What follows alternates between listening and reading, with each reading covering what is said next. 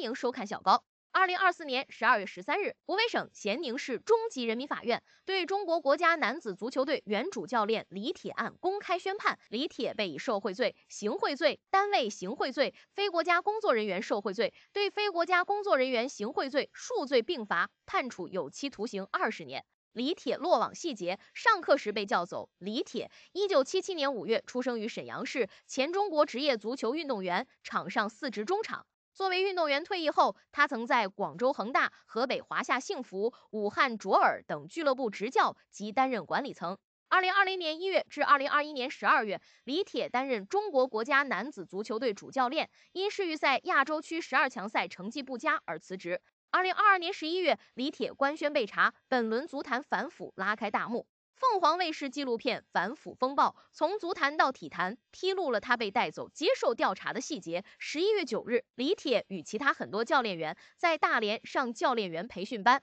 当天，一位身份不明的小女孩来到教室，告知所有学员，上午的学习很重要，任何人不能因为任何事情离开这里，也不得请假。讲课开始后不到五分钟，这位小女孩再次出现，悄悄来到李铁的座位，表示李导，外面有人找你。李铁就站起来，什么也没拿，他的笔记本、双肩包，甚至连手机都放在座位上。出去以后就再也没回来，还缺席了培训班的合影留念。曾花三百万买国足主教练职位。二零二四年一月，电视专题片持续发力，纵深推进第四集一体推进三部曲播出，披露了足球领域腐败案情。国家体育总局原副局长、中国足球协会原党委书记杜兆才、中国足球协会原主席陈戌源以及李铁先后出镜忏悔。专题片披露，李铁两次带队升入中超，背后都是大量的假球。他尝到甜头后，就主动向俱乐部推销假球。后来，为了当上男足国家队主教练，李铁一方面游说卓尔俱乐部出钱帮他做工作，表示如果自己能上位，也会在多方面回报俱乐部。俱乐部为此拿出二百万元向陈戌源行贿。